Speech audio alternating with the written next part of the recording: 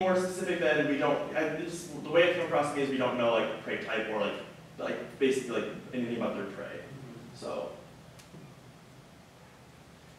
That unicorn lady is just gonna be I, a I comic. was saying, um, potential disturbance on it, Okay.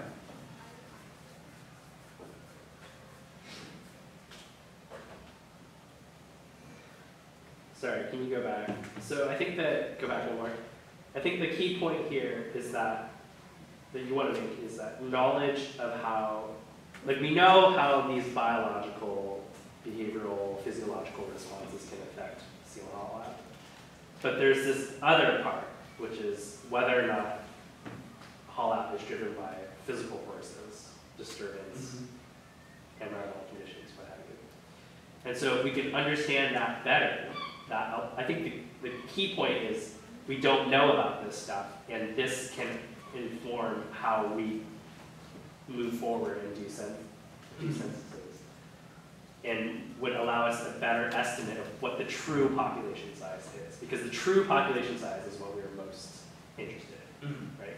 So just, you can just very, like, that's just one easy way for you to, like, that is what you want to say, right? Mhm. Because, and so when you're practicing this, what you can do is just think every slide has a point.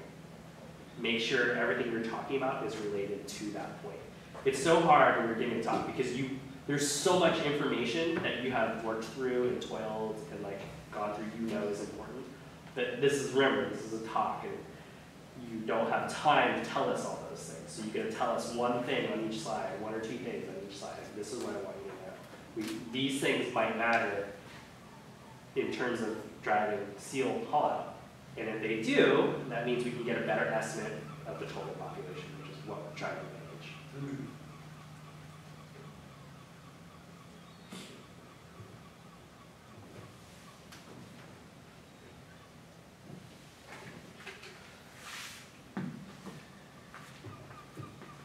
Yeah. Effect, affect. That one is the effect. No, it's No. affect. This is affect. This is, this is right. This is right. What? So this is right. No, it's not. No. It's affect. It's a fact. It's a fact. So substitute a verb for effect, like influence. Does it work? How do abiotic conditions such as air, and water temperature, and wind speed influence all outcomes? Yes, it works. It's affect.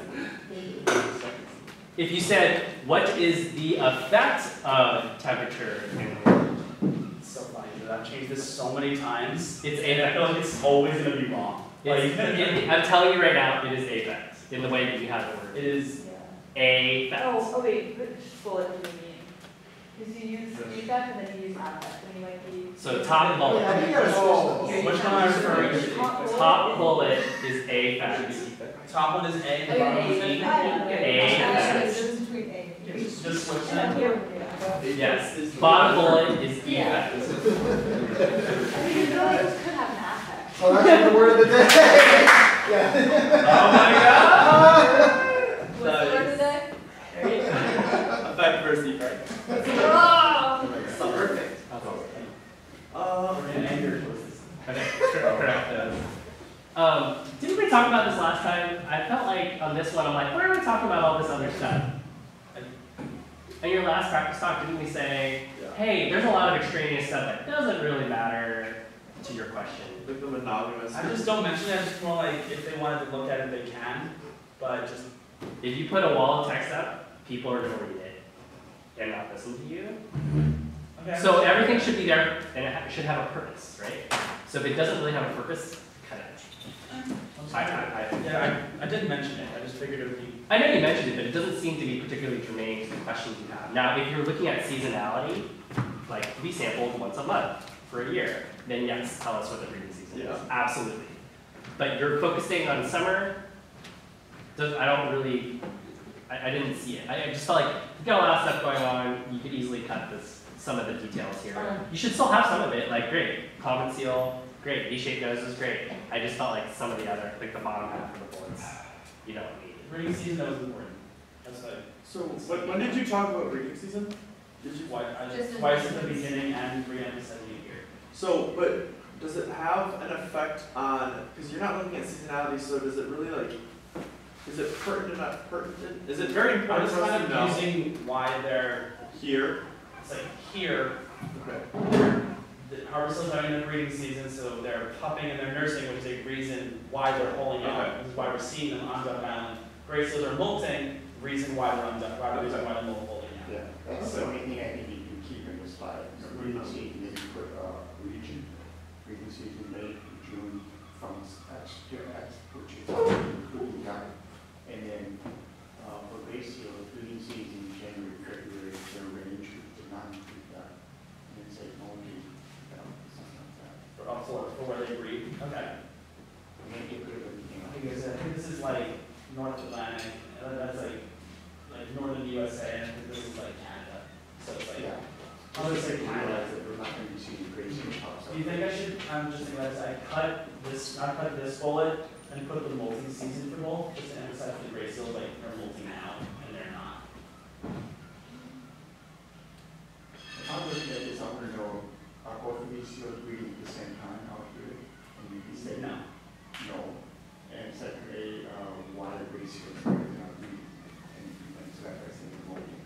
Okay, so yeah, I'll put a molting, I'll put a Get rid of molting. everything else. Yeah, okay. Thanks. Here I would make those pictures smaller, move them over, and then on the right side, list everything that you do. So your photo project, uh, all the things that you said, verbally, you can list right on the side. Mhm. It's like photograph data, uh, data recording or recording data, and then there is putting data. And what's the, uh, what's in that reference for? For Largo and low time.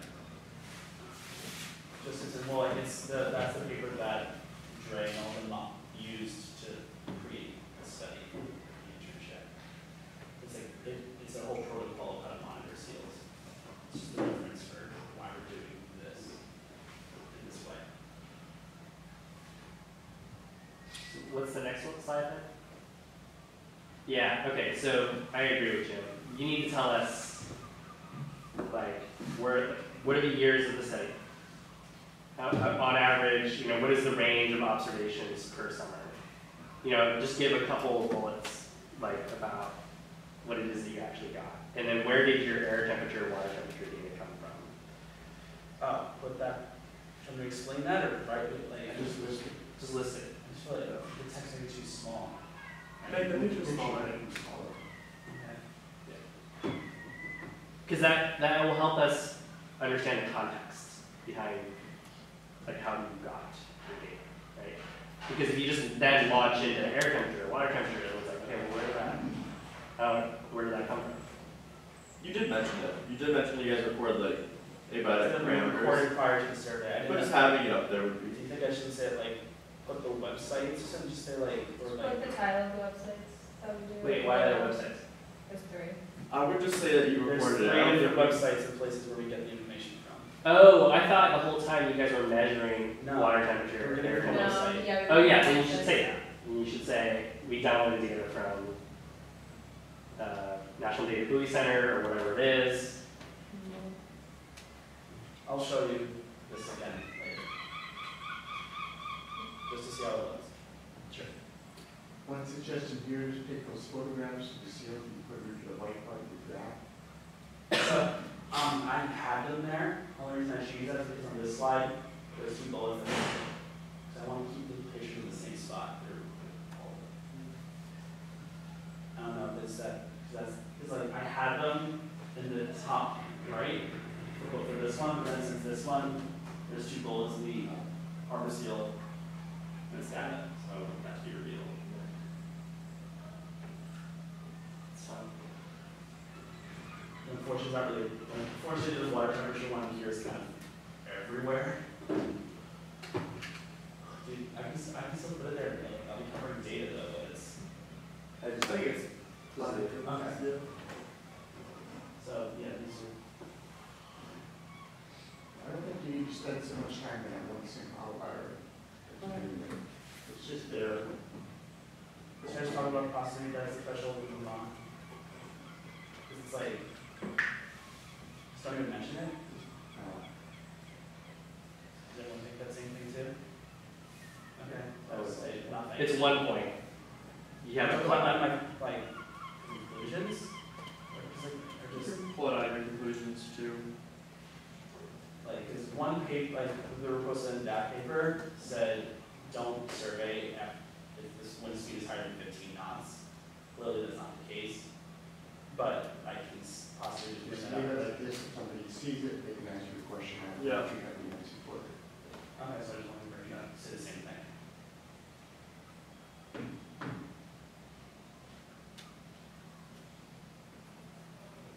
This would be a good candidate for showing the, the graph on the right, like animate it, like don't show it all at once. Like, so I'm gonna show you data for harbor seals, introduce what it is you're doing, right? Anytime you show graphs all at once, people are gonna go to work trying to figure it out. So this would be a good candidate for just not showing the graph at right in the beginning. I can do that for both time day and the, and the boats. Uh, or animated, it, No, go back, go back, now go forward. Right, so they, I was saying. No, no, I, I agree with you. Oh, I'm just saying, I, I was saying I can do that for this as well. oh, oh, yeah, yeah, yeah, yeah, you No, could. I think I agree with you, yes. Yeah, yeah, yeah, so you could, um, you don't have to do it for like the last one, go back. Because by that time, you will have already introduced it. Introduce. Okay, if you, you could say, I'm gonna show you a series of graphs. Harbor seals will always be on the left, gray seals will always be on the right. First, we'll look at great harbor seals for air temperature or whatever the first one is. Mm-hmm. It, it's kind of a stylistic thing. You don't like you could you could animate the entry of each one, but if you pile on a lot of animations, it gets to be really like like it's taking forever. And because the the take-home message for each graph is the same, which is that those do not appear to be correlated, then it's okay to then speed up and show them faster as they come. But when you go to the bar graphs, that's a new thing. Uh-huh. So you could then just go back to showing the one panel on the panel. Okay. It's up to you. No, I, I like that. Yeah. I'll change the times.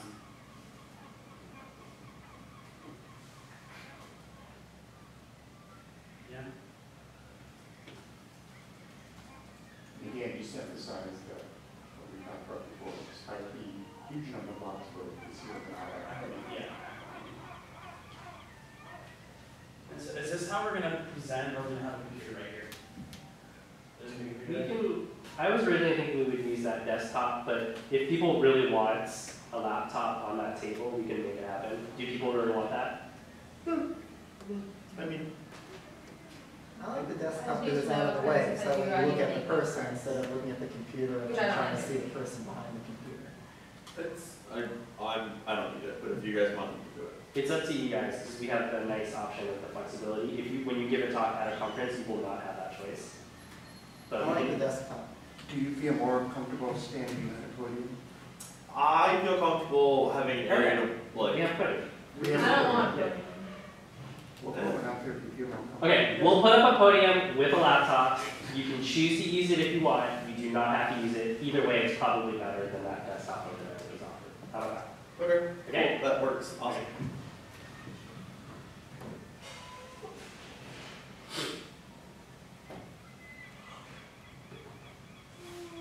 Uh, not, don't say there are not any, just say there are no votes. Or few votes, but not any. Doesn't sound right. And there are no. No votes. No or few votes, or few votes. or- Votes are not present. Both seals fall out more when there are, when there are no votes present. Then, Yeah? Votes are not present, I would say the votes So are. the votes are not present? Yeah, just pretty sure it's fine. Is that seal usually from your photos? Yeah. that I would put under there, Duck Island, July 9, 2017. So people could say, oh, wow, that's right here. And then put that blue image up on the white chart, so they know that that's not a computer. Okay. So you show it, official years. And they can make great- Actually, because I can say more about this point, I just, uh, didn't have enough time. But if it like,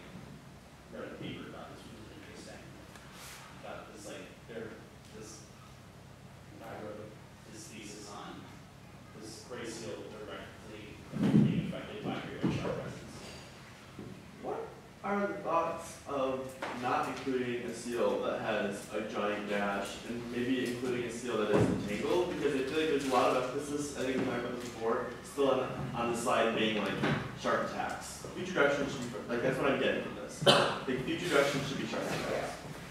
So maybe having an entanglement to show a variety of parameters that need to be focused on.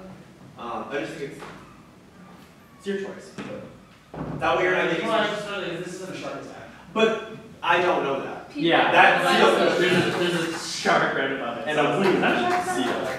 So, you know what I'm saying? If you saw some blue seal, you immediately think, oh, it probably got bit by a shark. So, I maybe because that's a that's a huge thing is entanglements, and that that beats off of human interactions. Sure. So, yeah, an entanglement. So you're kill multiple birds with one stone. Cool. Thank you. How do you pronounce Dre's last name? Bologna. I love that. Every time you guys say it, I'm like, oh. it's, It's, it took me probably a whole summer to learn. Um, I'm still learning how to track and spell it. Good job, Ian. Thank you. Use the rest of it. This like intense. What is this for? What is this for? Alan, Probably. Or we get fish. Or we eat with that movie. Hey, Brian. you didn't put this on that. Alright, I'll do it. alright, we still got two more talks, people. Focus. Two more, I keep getting two more. Uh, Okay, hold on, hold on. Yep, okay, I got it.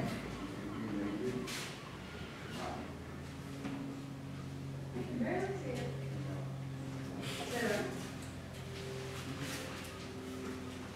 Zero. Why, I can't see that on this one. I just use a stick. Gotta wait for Ian. And Tom. Okay. The second seal will be presented by Ian Tomasi.